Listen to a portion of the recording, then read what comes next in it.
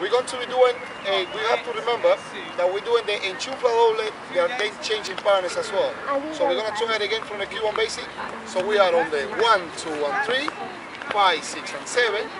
and 2, and three, and then we go enchufla doble, changing partners. So you go one, and two, go. Go one, two, and three, next partner.